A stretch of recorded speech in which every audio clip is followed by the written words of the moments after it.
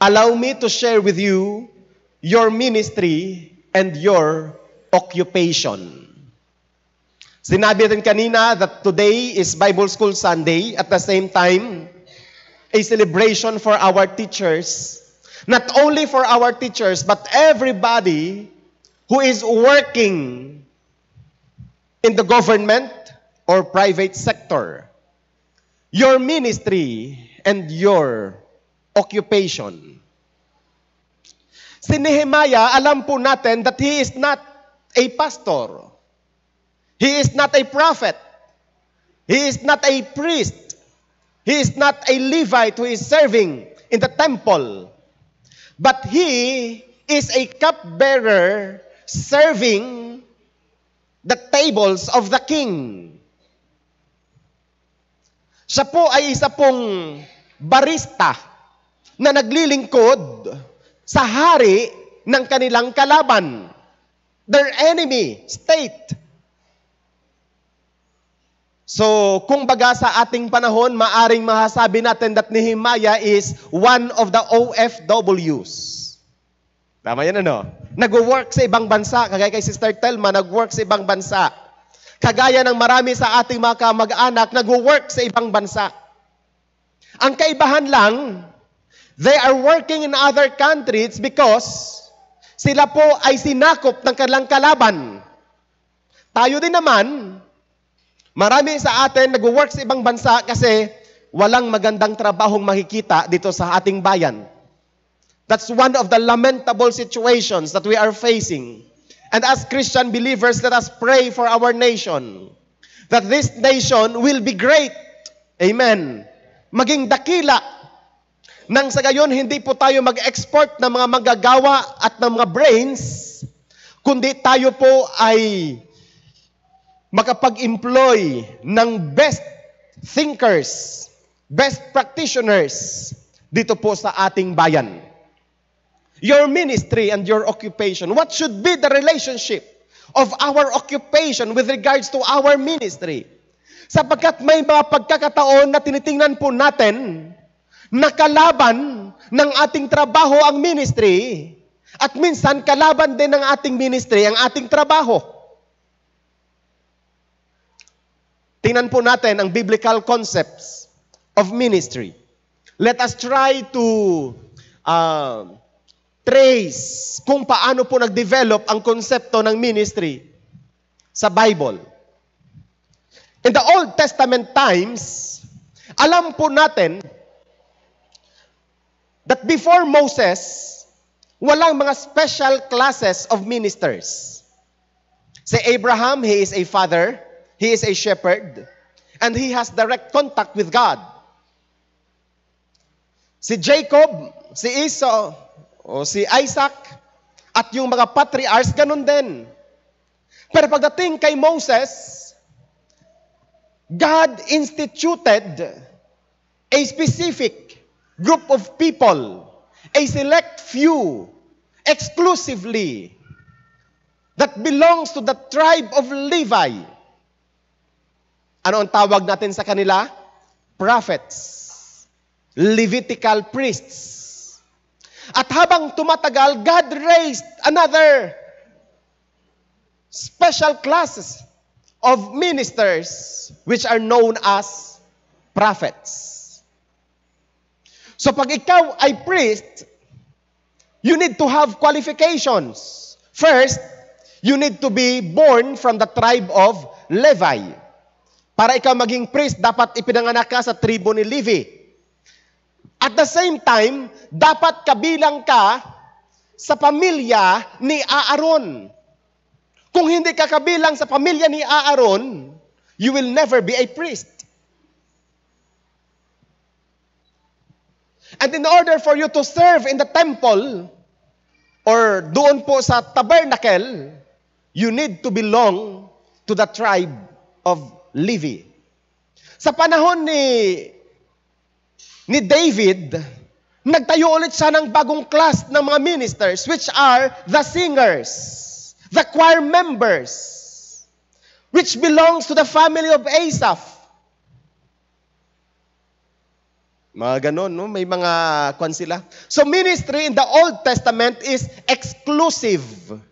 When we say exclusive, it is not being shared to others. If you are the minister, you are the minister. And if your family is a ministry, a family of ministers, then you should be a minister.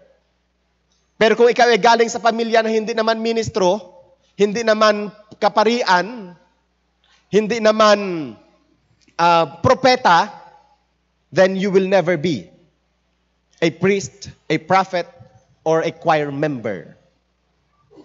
Sa New Testament, ministry is inclusive. When we say inclusive, it includes all. Tingnan po natin sa Ephesians chapter 4, verses 11 to 12. Maging sa 1 Peter chapter 2 verse 5 at Revelation chapter 1 verse 6. Makikita po natin that ministry is designed by the Lord and intended by God for all Christians. We need to know and to understand that we are all Christian believers. For as, as much as those who receive and accept Him, they are given the right to be called, ano? Ha, nakalimutan ninyo? Sa lahat ng tumanggap at kumilala sa Kanya, sila ay binigyan ng karapatang maging ay, Tagalog pala. Nakalimutan ko. Filipino pala tayo, ano? Binigyan tayo ng karapatang maging anak ng Diyos. At ang lahat ng anak ng Diyos may ministry. Amen. In the Old Testament, ministry is narrow. Pag sinabong narrow, sinabi nating narrow, kuwan lang siya. Nakalimita lang. Makitid. Kung sa bagay, ang daan sa kaligtasan, makitid. Temple service, usually. And of course, yung priesthood, yung Levitical system. It's narrow. In the New Testament, the ministry is broad, malawak. It includes the ministry of the word and the ministry of work. ministry of the word and ministry of work. When we say ministry of the word, preaching and teaching, encouragement, counseling, ministry of the word, speaking in tongues, interpretation of tongues, words of wisdom, those are various kinds of ministries. Pero hindi lamang nakalimita doon ang ministeryo. Sapagat ang ministry, it also includes the ministry of work, the work of service, the ministry of giving, the ministry of hospitality, the ministry of caring for the weak, for the sick, for the discouraged, for the disillusioned. So makikita po natin na there, that there is a progression of ministry, of the concept of ministry From the Old Testament to the New Testament. Kung kaya't hindi na lang po limitado ang ministry sa templo, sa simbahan, sa bahay-sambahan ng ating Panginoon, kundi ang ministeryo kung saan tayo napupunta at gumagawa tayo sang ayon sa direction ng banal na Espiritu na nakakatulong sa lahat ng tao at nakapagbibigay ng luwalhati sa Diyos. Habang ikaw ay nakikipag-deal sa iyong mga customers, you still worship God. Because ministry is seen in the New Testament or defined in the New Testament as any service that is rendered by a Christian anumang uri ng paglilingkod na ginagawa ng isang Kristiyano. Pakituro ang inyong sarili. Ako yun. Yan. Ang ministry ay anumang uri ng paglilingkod na ginagawa ng isang Kristiyano that is motivated and empowered by the Holy Spirit and benefits men, both saved and unsaved, and brings glory to God. So pwede pala na si Sister Gemma ay nagtuturo sa school. Nagtuturo siya ng A, ayun, A, E, I, O, U. Wala na kasi ngayong A, E, I, O, U, ano? So, A, E, I, O, U. Ganyan. Oh, repeat, repeat, sabi niya sa mga bata. Wala nang abakada, igaha. Ano pa yun? Wala na, no? Oo. Kasi ngayon ay A, B, C, D, kahit Filipino ang subject. Oo. Oo. Habang natuturo si Sister Gemma ng ganun, 1 plus 1 equals 2, she could still worship God. And it is a ministry rendered to the Lord. Habang gumagawa si Sister Claudette ng grades ng kanyang uh, estudyante. Ang hirap mag-compute ng grades. Pero kung may Excel kayo, ang dali lang, di ba? Ilagay lang doon sa computer. Habang nagko-compute siya ng grade, it is still a ministry. If she is empowered by the Holy Spirit, motivated by the Holy Spirit, and it brings glory to God. Kaya isipin po natin, ano man ang ating ginagawa, sa karangalan ba ito ng Panginoon? Kung sa isip natin at sa evaluation po natin, napaparangalan ang Diyos, Therefore, we are doing the ministry that God has given us. There are two types of New Testament ministries. First, general ministry. Pag sinabing general ministry, ginagawa ng lahat ng Kristiyano. Lahat ng Kristiyano pwedeng gumawa nito. Halimbawa, giving. Giving of finances, paying our tithes and offering, or engaging with evangelism, or service. Magwalis, maghugas, maglaba, general ministry, magbunot ng damo, mag-scrub ng walls, kung ano pang ginagawa, ang tawag dyan, general ministry. Anybody could do it. Amen. Ikalawa, particular ministry. Itong particular ministry are ministries na nagagawa natin sapagkat yan ay ating spiritual gift. O yan ay ating ministry gift. Alam naman natin kung ano mga spiritual gifts, ano? There are nine spiritual gifts. Number one, prophecy, words of wisdom, Speaking in tongues, interpretation of tongues, healing, faith, ano pa? Discernment, ano pa? Working of miracles and signs and wonders. Yun ang nine spiritual gifts. Ha? Kung ikaw ay walang gift mag-faith, pag nakakita ka ng may sakit, sabi mo, patay na talaga ito. Wala kang gift ng faith eh. Pero yung taong may gift ng faith, kahit matigas na, mabubuhay yan. Di ba naalala nyo si Wigglesworth? Patay na. Di ba pinatayo niya doon sa pulpito? Tapos mula sa malayo, tumakbo siya. Paglapit niya doon sa patay na pinatayo niya ay, sinipa niya Pagsipa niya doon sa patay, sabi ng patay, agay. Nabuhay yung patay. Mga taong may gift ng faith. Iba po yung spiritual gift na faith, iba po yung saving faith. Nakuha natin ano? May mga tao na grabe matindi ang kanilang gift of faith. Sabi nila, anak, kwento ito talaga eh. Public testimony naman ito. Kwento natin si Pastor Juan, Pastor Macasio. Si Pastor Macasio, nagpapastor doon sa Sibuyan. Sabi ng asawa niya, Pang, makain na tayo pero wala tayong bigas. Sabi niya sa kanyang mga anak, Anak, ihanda ang lamesa. Hindi nakasaing, walang ulam.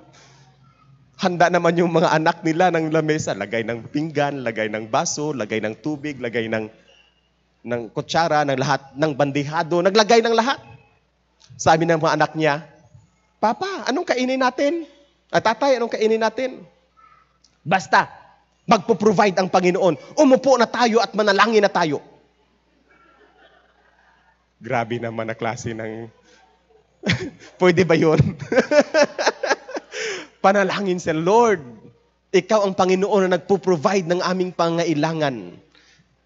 Salamat po sa pagkain na aming kakainin. Sa pangalan ni Jesus. Amen. Pag amin niya, may kumatok, Pastor. Ito po ang kaldereta. Ito po yung kanin. Ito po yung ulam. Oh. Totoo yung nangyari yon, di yung kwento-kwento. Nangyari po yun. Ay, pero pag ako yun, naku, anong isipin ko? Mangutang na ako. Oo. Malaking pagkain eh. Pero may gift talaga ng pananampalataya. Huwag kayong mangutang ha. Praise God. He has that kind of faith. Hindi lahat makakapaggawa noon ay mas matindi ang faith ni na Sister May asa ni Sister Ruth. Alam niyo kung ano kung gaano katindi ang faith nila? Sila ni Sister Joy. Ang itim na ng dagat doon sa Isla de Gallo. Ang itim ng dagat. Puti-puti na ang dagat.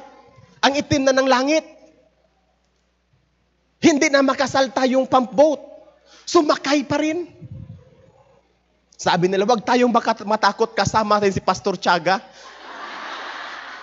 Sabi ko,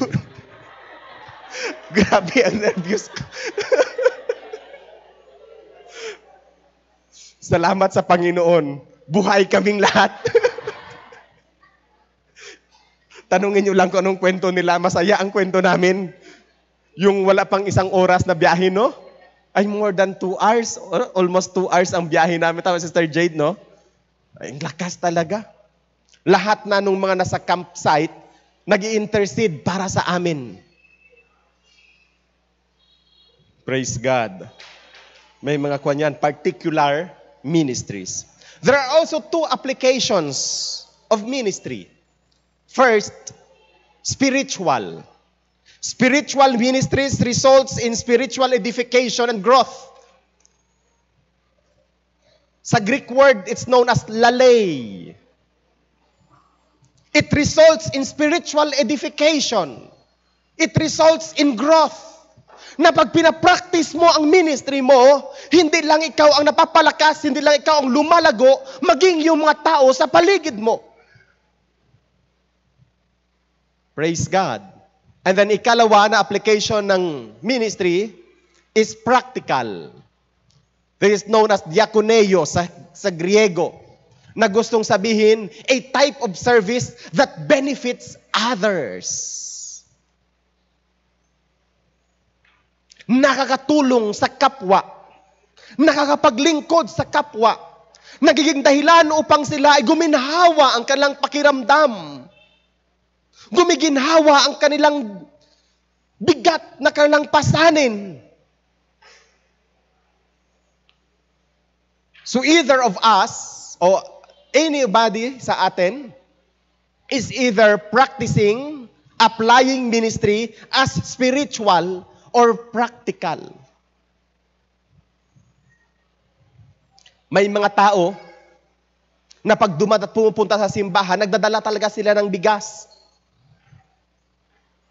At pag makita silang kapatiran, pinagkakalooban ng bigas. Sis, o Brad, ito bigas para sa inyo. Ang tawag dyan, practical application of ministry. Nakita niya ang kapatiran, o sis, o Brad, o ito o, kaunting halaga, pasalamatan mo sa Panginoon. Practical application of ministry. Nakita mo ang iyong hirap na hirap si Sister Chrising na umakyat sa hagdan. Nakita ng kabataan, hinawakan ang kamay ni Sister Chrising at dinala pa akyat. Anong tawag dyan? Practical application ng ministry. Hindi lang naman ang pagsasayaw o ang pagkakanta o ang pagpipreach ay ministry. Maging yung nakakatulong tayo sa iba, naging dahilan upang sila ay maging maginhawa, isang uri po yan ng ministry. Sa mundo, ganito po ang kaisipan ng ministry. Tinan po natin. Yan, this is the concept of the other concept of ministry.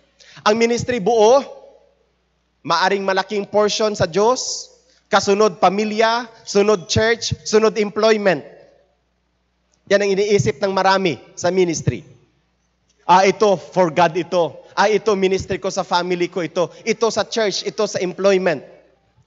Parang, parang piece of pie na hinahati-hati.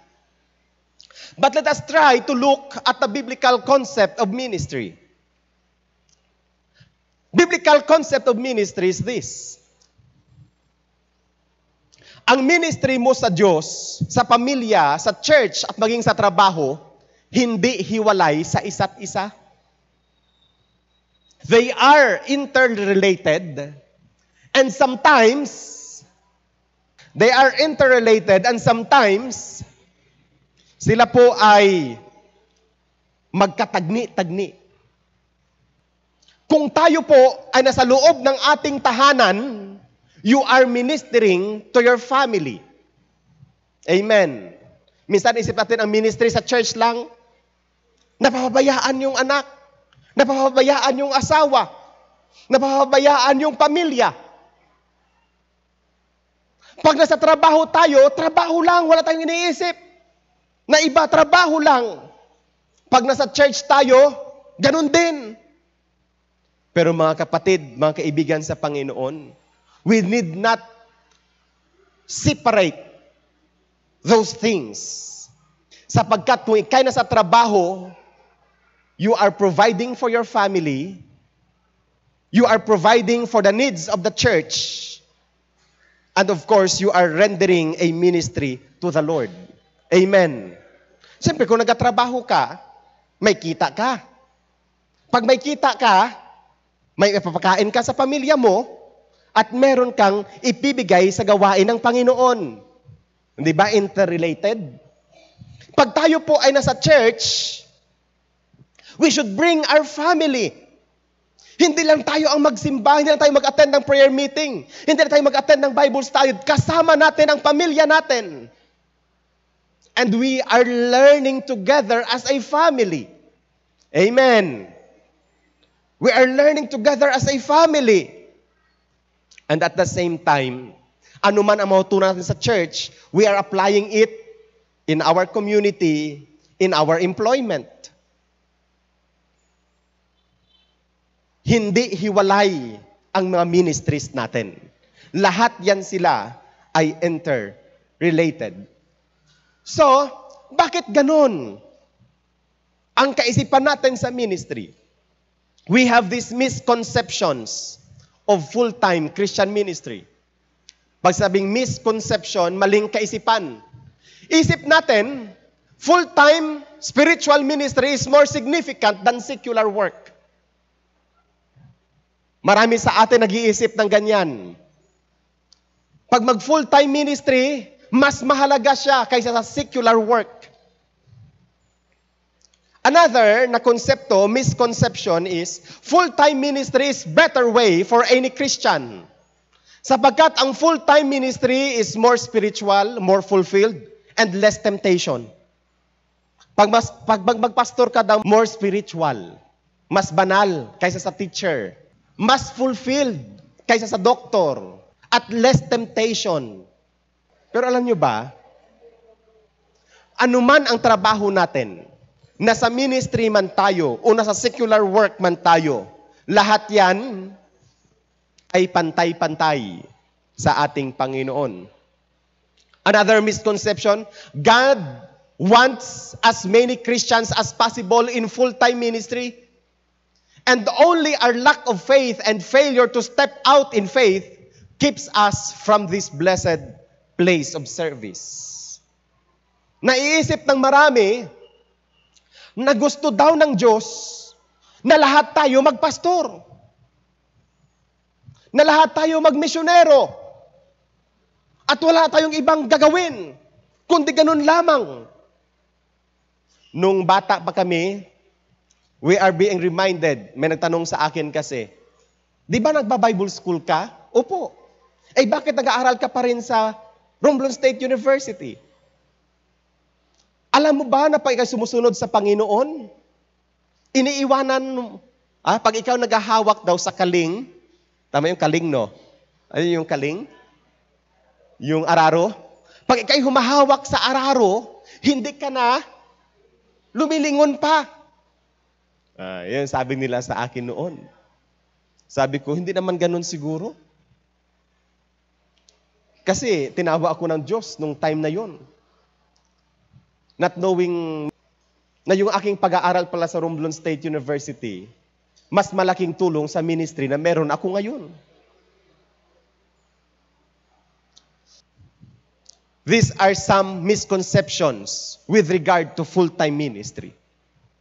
Pero ano ba talaga ang sinasabi ng Biblia sa ministeryo? In Romans chapter 8, God does not distinguish between secular and spiritual. Walang kaibahan ang secular work sa spiritual work. But only between that which is of the flesh and that which is of the spirit. So kung ikaw ay nagwo-work as public school teacher and you are working in cooperation with the Holy Spirit, you are doing a great ministry for the Lord. Amen. But if you are working in the church, misyonero ka, pastor ka, o Sunday school teacher ka, pero ang purpose mo ay mag-gratify ang iyong flesh, it is not acceptable to the Lord. Hindi yan katanggap-tanggap sa Panginoon. Nagpi-praise and worship leader ka. And yet, ang iniisip mo, wow, praise and worship ako, this will be a great day for entertainment and to enjoy and to become famous. At mapalakpakan ako ng mga tao at sabihin sa akin, ang galing-galing mo kapatid. It is not a ministry rendered to the Lord. If you are preaching at the pulpit, And you are preparing a sermon at iniisip mo, ilan kaya ang kakamay sa akin pagkatapos ng sermon ko? Nako, hindi yan kalooban ng Panginoong Diyos. Amen. Hindi yan kalooban ng Panginoon. Kaya parati po tayo nag-a-attitude check sa atin pong paglilingkod. Because we are serving We are ministering to the Lord. And we are doing everything for the Lord. Pwede bang palakpakan natin ang ating Panginoon? So there is no distinct, distinction between secular and spiritual. Si Nehemiah na ating binasa kanina, he is working in secular world and yet he is used by God to rebuild the temple. Second, the biblical principle with regards to work and ministry is this God does not measure the significance of ministry as men do. Ang Diyos natin, hindi sinusukat ang significance ng ministry natin. Kagaya ng pagsukat ng tao. Isip natin, bilang tao, mas marangal ang nangangaral sa pulpito kaysa sa naglilinis ng CR at nagwawalis sa mga bahay. It is not.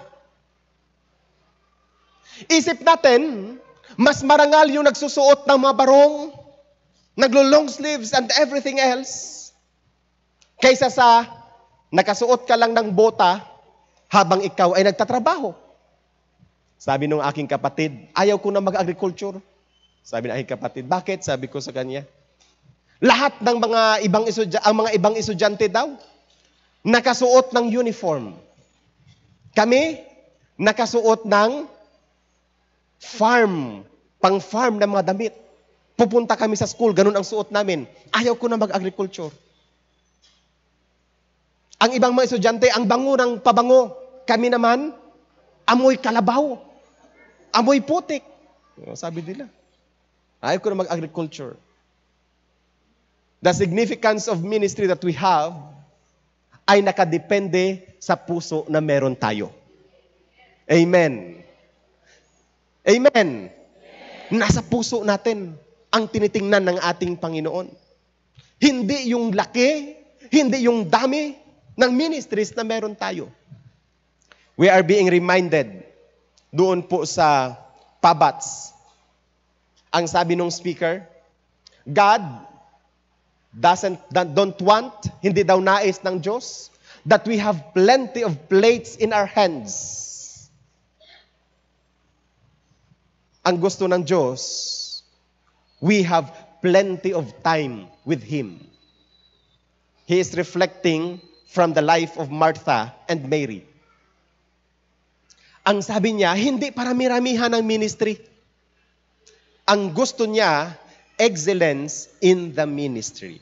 Then the third principle na nais po nating i-share this morning, any honorable work is worthwhile when God is in it anumang trabaho na karangal-rangal ay mahalaga, lalong-lalo na kung kasama mo ang Diyos. Kaya bilang mga teachers, habang natuturo sa classroom, always remember, kasama mo ang Diyos. I am touched by those teachers who, before starting their classes, they pray. They request the students to pray. I appreciate those teachers.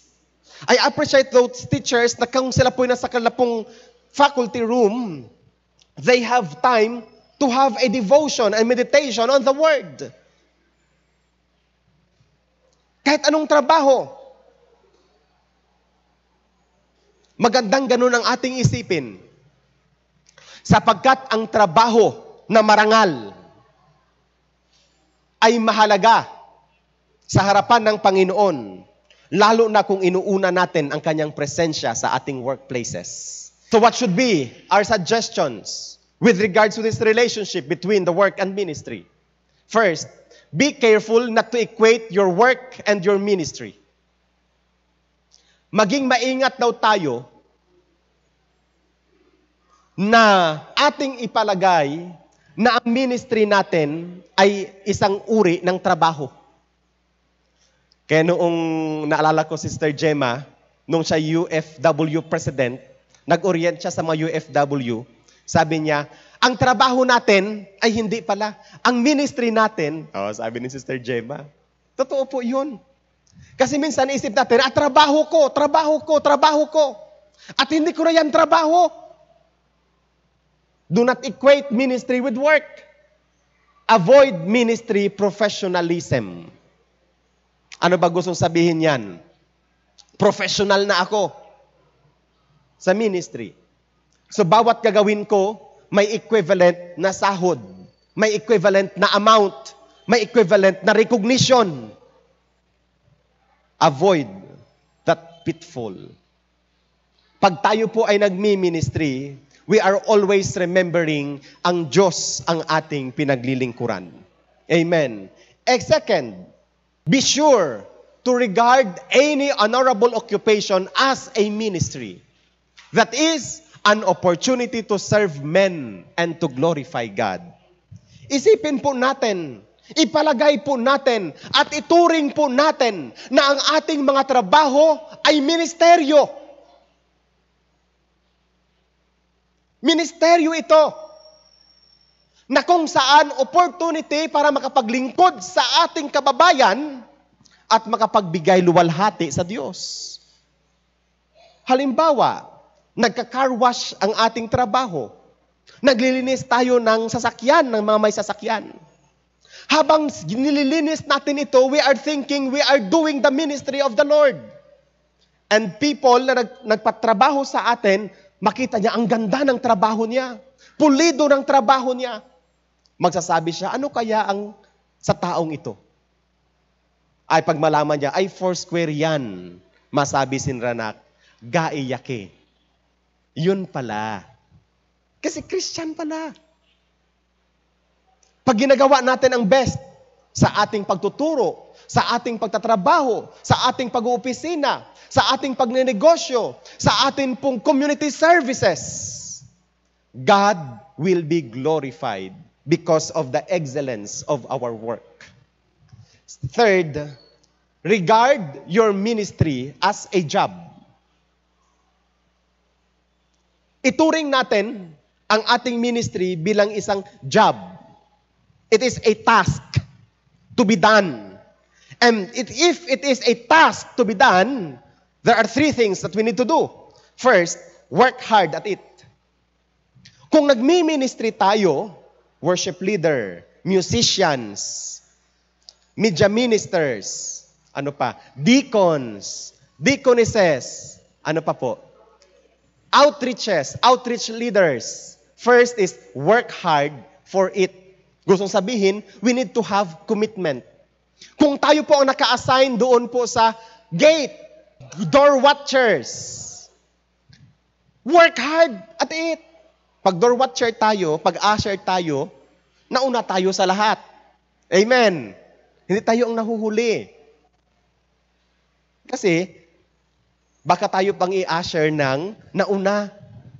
At tayo pang i-welcome ng nauna. Oh, welcome usher. Parang parang hindi tama yata yun. Work hard for it. Pag tayo ay musician, tayo nagigitara, tayo ay nagda-drums, tayo ay nagki-keyboard, Siyempre, alam natin, sa simula pa lang hindi ganun kagalingan. Pero habang tumatagal, lalong gumagaling ng gumagaling because we devote time in our practices. Amen. Pag tayo ay member ng choir, hindi lang once a month tayo mag-practice. Kasi may mga pyesa tayo na maganda. And we need to do justice on those pieces. Amen. Kawawa naman yung nagsulat. Ang gan- naghirap naman siya ng lagay-lagay ng nota doon. Tapos nakalagay doon ay D. Ano ba D ba yon? Do. Ay pag sa akin yun, Re. Kaya hindi ako pwede maging member ng choir. So work hard at it. Improve in it. As we render our ministry, makikita sa atin ang improvement. Lalo tayong gumagaling. Hindi dahil nagpapagalingan tayo sa isa't isa, kundi dahil alam natin hari ng mga hari ang ating pinaglilingkuran. Amen. Improve in it. Regard your ministry as your job.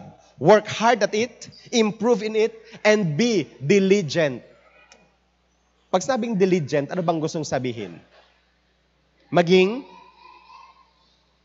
maingat, maging masipag, maging wais. Maraming mga words yung diligence, no? So paano gawin ito? May mga seminars, may mga trainings, may mga workshops na available for this. Do everything para sa ikaluluwalhati ng ating Panginoon. And then the last na suggestion na pwede natin ibigay let your secular occupation serve to enhance your ministry.